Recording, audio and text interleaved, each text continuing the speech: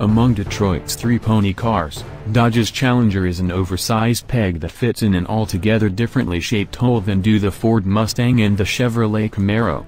The beefy two-door is by far the largest in its class, has the only usable back seat, and is the most powerful in 707 horsepower SRT Hellcat form.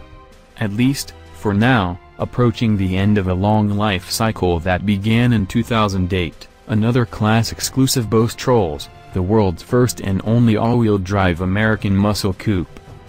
For a segment so typically horsepower obsessed, braggadocio about the number of driven wheels is refreshingly offbeat. Even better for Dodge, it didn't need to spend a lot of money on the effort.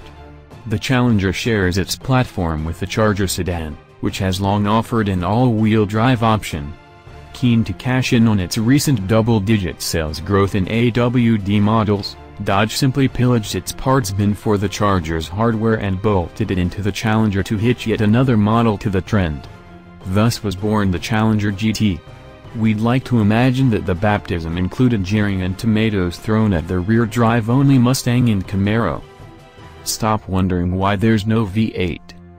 Ford and Chevy could lob a few tomatoes back at Dodge, given that the GT can be hit only with the base Challenger's 3.6-liter V6 engine. Dodge says the aim was to offer all-wheel drive to a maximum of customers.